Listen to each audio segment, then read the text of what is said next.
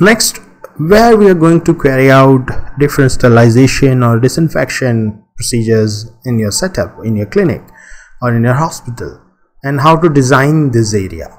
That is very important. So let us try to understand. So you will carry out these activities at a department known as CSSD Central Sterile Supply Department.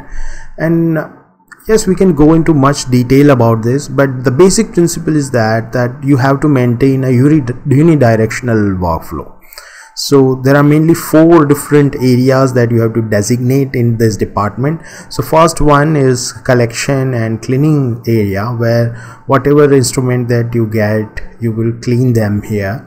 Then there is a packaging area. Here they are wrapped up and finally there is a sterilization area in which these wrapped up items are sterilized uh, in this area. And finally storage area which is sterile.